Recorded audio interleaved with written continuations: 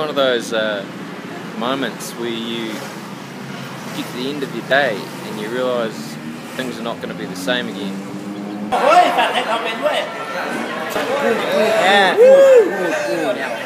Boxing. I got